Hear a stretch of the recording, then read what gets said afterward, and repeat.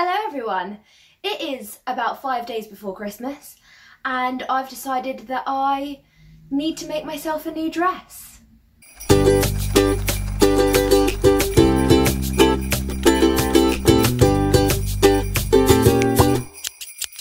Hello, welcome back. My name's Bonnie and this is Happy Space Create.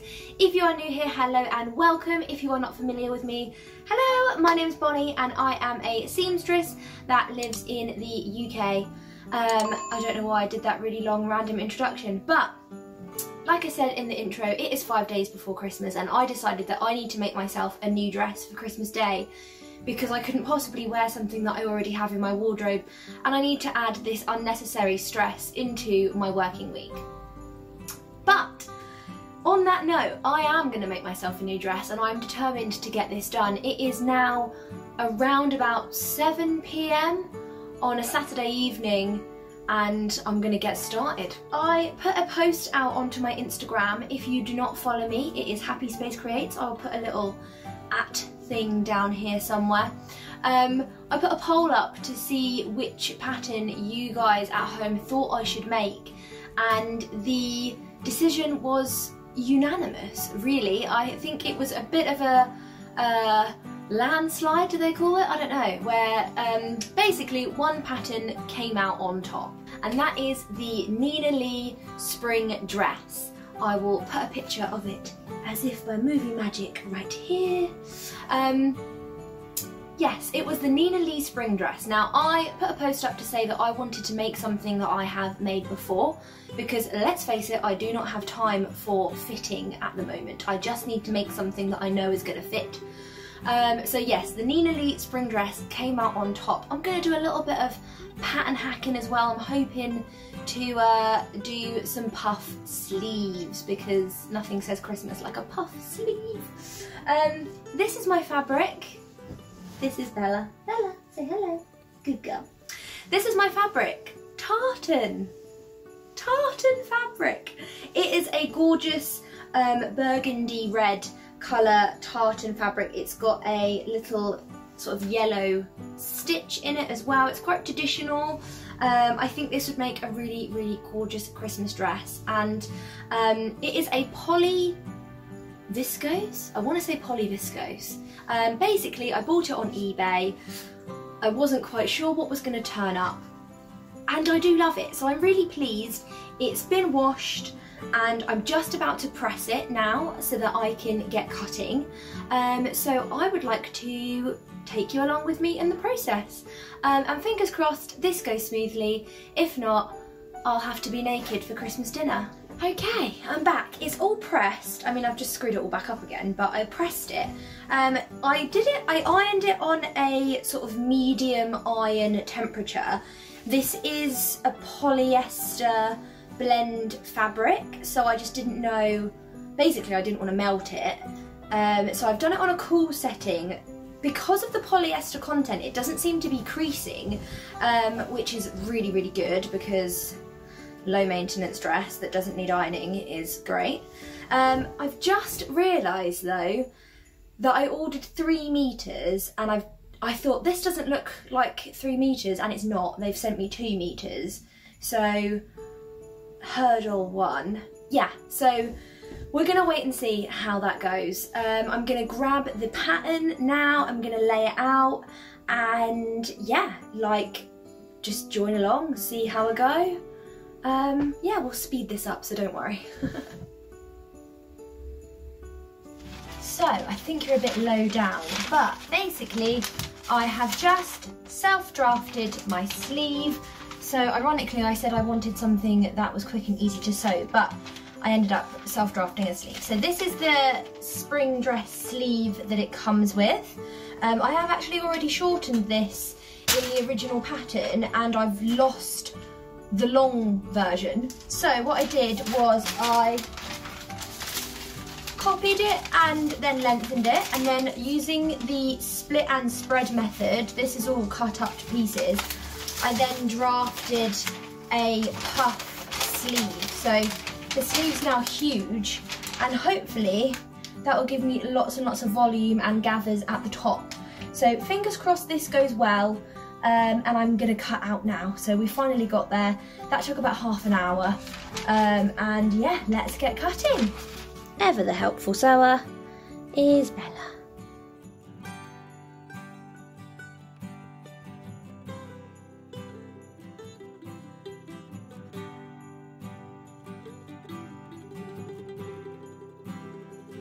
So, I am back here at the sewing machine. Everything is cut out and my pattern pieces are now marked with all the darts and notches. It went relatively smoothly.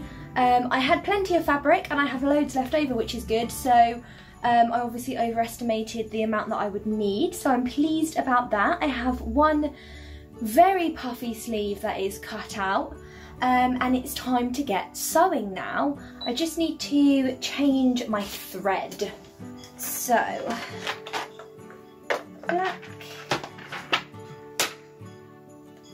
Well, of course I don't have a bobbin all ready to go.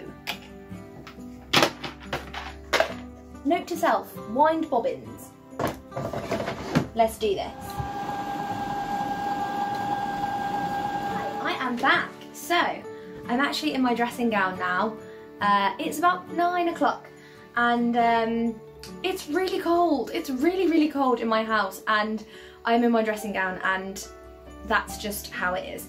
Um, surely you guys sew in your pyjamas and dressing gowns at home, so if that is not the most relatable uh, thing you've ever seen, then clearly I'm insane for being in my dressing gown on the internet. Um, but hopefully you are watching in your dressing gowns at home.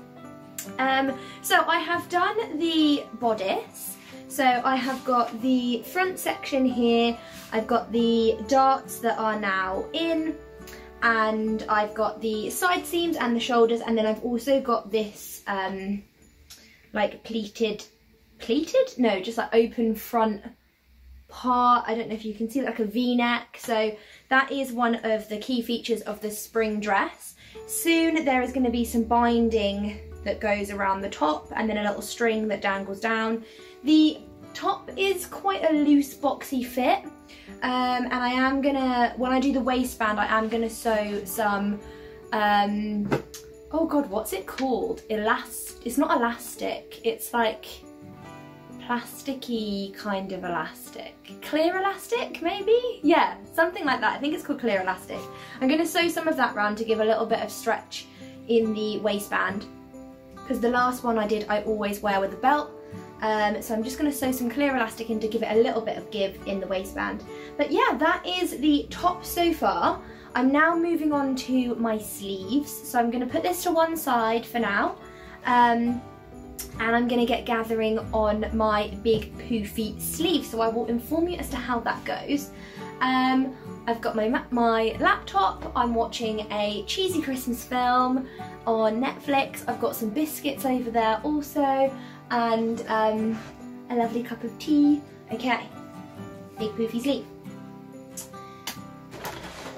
So I'm to sew my gathers on a basting stitch, which is what I always do. Okay, over here. So this is the top. So this is looking pretty good. This is my sleeve now. So um, I have gathered the stitches here and sewn the side seam so it's all together. It's not as puffy as I had hoped it would be um, and I think it might be a little bit too small um, but what I'm gonna, it's quite narrow at the cuff and I, I'm not sure whether I like it like that. It's just not as puffy as what I hoped it would be. So what I might do is I might, before I go ahead and make the other one, I might sew this one in place and try it on again, see how it looks. Um, and then for the bottom, I was going to put some elastic in the bottom, but to be honest, it's quite narrow, so I think I might just hem it and that would be okay. But let's stitch this on and see. We're in with a sleeve. Um, so it's attached. It turns out that it looked weird because I had the back sleeve on the other side. So this sleeve is actually belonging to this side and it is, you know, puffy. Um, it's not as big as what I thought it was going to be, which is okay. I think I was probably playing it safe with the first time me using a slash and spread methods. I think I just played it safe a little bit, but it definitely has more volume than the last spring dress that I made. Um, I'm gonna go ahead and do the other one now, and then I think I'm gonna call it a day. Uh, it's quite, I'm quite tired now, so I think I'm gonna call it a day after that, um, and then I will finish the skirt tomorrow. Hello, so it is now the next day and um, I've done all the jobs that I needed to get done today so now I can sit back down and crack on with this dress. So this is a photo of where we left things last night so as you can see one sleeve was done um, and the bodice was complete um, but here's where we are now. Um, so again one sleeve. Um, I had some revelations in the night before I was going to bed. I don't, know if you guys go to bed dreaming of sewing, but I do. Um, so I had some revelations in that when I was trying on the bodice again, the it was a little bit tight over the bust and the sleeve just wasn't quite where I wanted it to be. So what I did was I unpicked the sleeve, I took the old sleeve off. So this is actually a new sleeve. Uh, my old sleeve was quite narrow at the bottom um, and it was sort of taking away from the puffiness. So I redrafted it. It's now got a little bit more volume at the top and it sort of goes like straight down rather than tapered. Um, and I'm just going to put some elastic at the bottom and then hopefully when I'm wearing it it'll all sort of balloon out a little bit. Um, the other thing is that the sleeve was sitting quite um, quite low down on the arm. So if I show you on me, so this is where my shoulder starts and the puff sleeve was starting about here.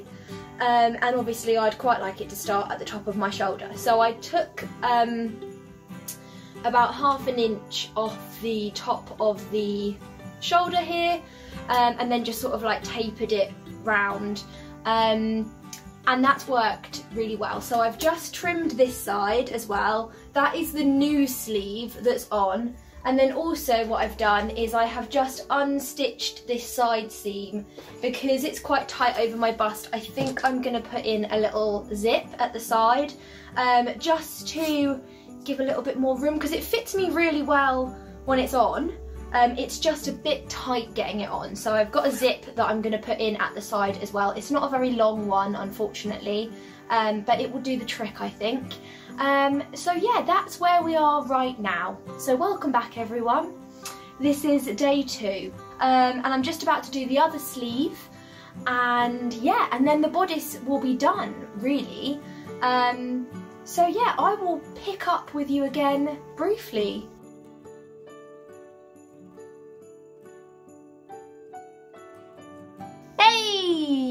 I'm back. Hello. So, look at this. I'm really chuffed, guys. So, this is the finished bodice. Look at my hair, disgusting. Um, so, it looks really short in the bodice, but it's not. I know that the tiers start from sort of like that's my waist here. So, um, I'm really, really happy with that. I'm really glad that I spent the time making the adjustments because it was definitely worth it because I really, really love the sleeves. Um, so yeah, look at the volume on that. So good. And so here's the sleeves now. So I've just sewn some elastic at the bottom so they are puffy all the way down. And I'm really glad that I moved that shoulder seam up because they were starting quite low before. So they're starting a bit higher up I'm gonna move on to the skirt. So I'm pretty sure I'm on the home straight now because the skirt comes together super, super easy. Um, so I'm really chuffed. I love it so much. Um, yeah, I'm really pumped. Um, thank you so much for watching all of this, if you are, by the way, just watching a video of me waffling on. Um, but I really hope you're enjoying watching it um, or taking part in the stress or you know, learning a little bit. I don't really know what you're going to get out of this video, but I'm glad that you're here. Thank you. Hello everyone. So it is now day three of dressmaking for Christmas. It is the 22nd of December. Yeah, 22nd of December. Um, so I was intending on finish this all yesterday, but I did most of the skirt and then I broke a needle in the sewing machine. That is a sign to call it a day. So I'm back again, third day. I really wanted to get it done, so fingers crossed I'm getting it done today because if it doesn't get done today, quite frankly, it's not getting done. So I have the dress right here. The skirt is now attached, so if I hold it up, you will hopefully be able to see. So that's the front of the dress. I've done two layers of skirt. The skirt came together really, really well. Um, I've now just overlocked the bottom. Yes, I know the thread's white, but it's on the hem and no one's going to see it. Um, and now I am just hand basting my zip into the side here. Um, and then all that's left is to do the zip, the binding, and then the hem of the skirt. So it should be really, really straightforward from here. this is the final hurdle now. So if I come closer, you can see I've got the little neckband band band already done. Um, so I lost the pattern piece for this. Um, so I actually self-drafted this one and I did the ties a little bit longer than last time because I do like to tie it and make a cute little bow because I do think it looks super cute, like just a little detail. Um, so here is the waist. I actually did do the zipper, which really, really helps when I was putting it on. So it's not so um, tight going over my bust when I'm putting it on. But I am absolutely in love with this dress. I love it so much. I think a tartan dress is not just for Christmas, it turns out. I would wear this all the time. I think it's so, so cute. Um, I just need to hem it, so I'm just to do a little length check in the mirror. Um, and I am debating sewing a wee bit of elastic round the middle, just to sort of like, not tight, but just to sort of suck it in the shape a little bit. I'm not sure if it's a little bit Little House on the Prairie at the moment. Um, so yeah, so I am debating doing some elastic in the middle. Um, but yeah, the only thing is, is I wish it had pockets. But I'm in love. Let me know what you think of this. Um, I think it's really cute. I feel like Mrs. Claus with my little, gonna get a little Santa hat. Um, yeah, gonna hem it and then we are done. So thank you so much for joining me on this journey. Um, and I hope you like this dress as much as I do. But Merry Christmas, everyone. Bye.